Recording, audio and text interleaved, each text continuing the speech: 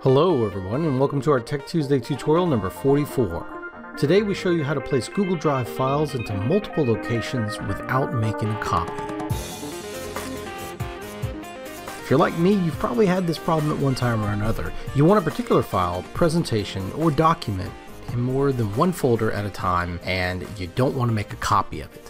Perhaps you have a presentation that goes into the public website folder, but you also want it to go into the conference folder that you'll be presenting at. Or maybe you have a presentation that you want multiple classes to have access to, but you don't want to have to change it in one place and then remember to go back and change it in the other one. The problem comes when you try to drag and drop it and move it, or if you right click on it and choose move to, it's just going to move that file from one to the other and it won't place it in both places. So here's the secret clickbait tip.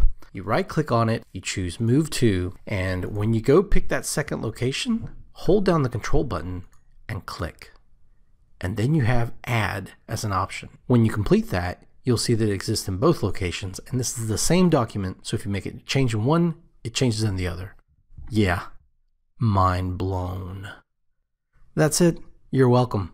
Oh, and as a bonus tidbit, if you remember our episode number three, we covered a few URL hacks, and one in particular was the slash copy one, which prompted the visitor to make a copy of the file instead of viewing it. Well, that's nice, but what if you could let them view the file and make a copy without pestering you to share it? So what you do is this, at the end of the URL of any shareable URL, instead of slash edit and instead of slash copy, you type slash template slash preview slash template slash preview.